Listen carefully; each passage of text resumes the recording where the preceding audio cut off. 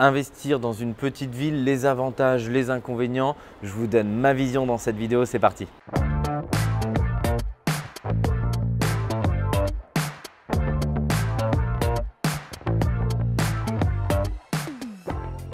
Bonjour à tous, je m'appelle Mickaël Zonta et aujourd'hui j'ai la chance et l'honneur de diriger la société investissementlocatif.com.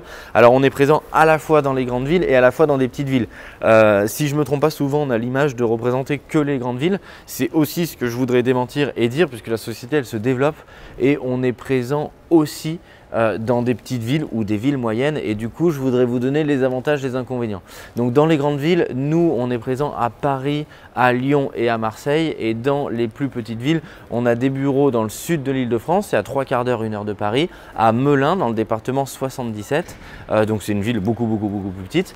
Euh, et du coup on accompagne aussi nos clients dans la construction de leur patrimoine dans cette ville-là, donc je suis vraiment en mesure de vous dire bah, quels sont les avantages, les inconvénients, petite ville, grande ville, qu'est-ce qu'on vient y rechercher, pourquoi certains investissent dans les deux, pourquoi certains investissent que dans les grandes villes ou certains investissent que dans les petites. La première chose, il n'y a pas de bonne ou de mauvaise réponse. Hein. Je le dis souvent, s'il y avait un mauvais investissement, croyez-moi, je n'aurais pas implanté des salariés, je n'aurais pas acheté un immeuble à Melun, euh, puisque vous avez vu euh, une vidéo où je vous présente euh, les futurs locaux. donc c'est juste une réponse en fonction de votre projet. C'est déjà ce qu'il faut vraiment bien comprendre, c'est en fonction de vos attentes. Je vais vous donner vraiment les grandes différences sans vouloir vous faire rentrer dans une case, mais pour que vous puissiez en quelques minutes avoir la vision de euh, est-ce que vous vous retrouvez plus dans les grandes villes ou est-ce que vous vous retrouvez plus dans les petites villes. Alors, les grosses différences. Dans les grandes villes, vous êtes sur un marché où la plupart du temps, on appelle ça, il y a une forte tension locative. Ça veut dire que vous avez beaucoup de locataires, pas assez de logements, donc c'est un point très positif pour l'investisseur puisque vous allez avoir de la candidature et que vous allez plutôt louer facilement, bah, avoir pas ou peu de vacances locatives, c'est-à-dire quand votre appartement n'est pas rempli. Donc ça, c'est hyper intéressant.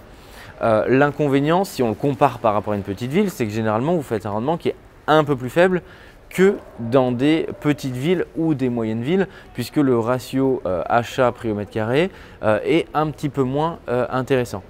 Euh, avantage, euh, grande ville, généralement la taxe foncière en pourcentage, en nombre de jours, en nombre de semaines ou en nombre de mois est, euh, plus avantageuse dans les grandes villes que dans les petites. Sur, un schéma global, parce qu'après il faut regarder individuellement la ville dans laquelle vous êtes, mais sur ce schéma global sur les villes que je vous ai présentées, c'est le cas. Alors quel est l'avantage? Ensuite, petite ville. Bah, en gros, dans les petites villes, on va chercher généralement un rendement plus élevé qui sera plus élevé que dans les grandes villes instantané.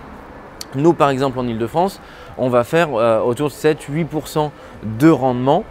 Euh, du coup, c'est intéressant, c'est un rendement bien entendu euh, élevé, tout placement, tout support confondu, autre que immobilier. Inconvénient, bah, en gros, a priori dans ces villes-là, l'investisseur ne va pas chercher de plus-value. Le marché globalement sera flat.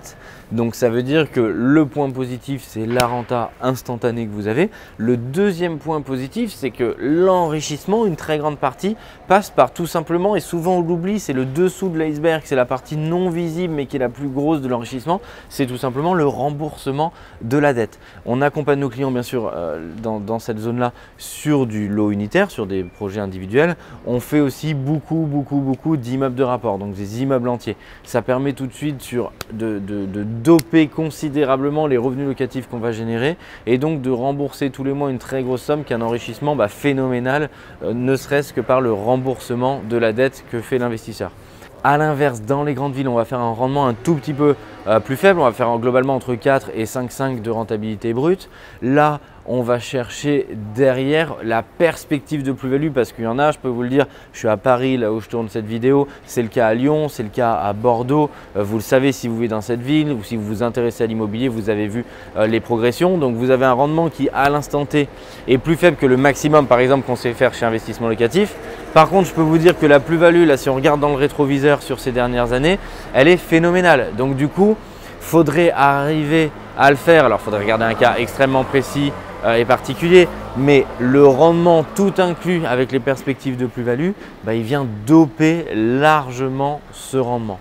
Donc il n'y a pas un type d'investisseur qui a raison un type d'investisseur qui a tort. C'est en fonction de où vous vous trouvez de votre propre situation? Est-ce que vous débutez? Est-ce que vous voulez vous acheter la sécurité d'une grande ville? Est-ce que vous cherchez alors uniquement du rendement? Est-ce que vous avez envie de chercher une plus-value?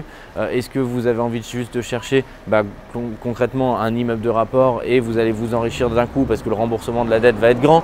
Donc il faut aller chercher vraiment ce qui vous, euh, vous intéresse. La plupart du temps, euh, et là, c'est un peu le, mouton à cinq pattes, c'est de dire bah, je veux une grosse ville avec d'un coup, à l'instant T, une plus-value. Ça, sauf cas extrêmement particulier, je vous le souhaite, vous ne le trouverez pas parce que intrinsèquement, vous ne pouvez pas cumuler la grosse ville, le fort rendement et à l'instant T, la très grosse plus-value. Ou comme je dis souvent, vous pouvez le faire, mais ce sera l'affaire du siècle, donc vous allez en faire une par siècle. Or, si vous me suivez, et je vous, je la souhaite, mais si vous me suivez, bah, vous savez que je parle beaucoup, beaucoup d'une notion qui m'est chère, c'est l'empire immobilier.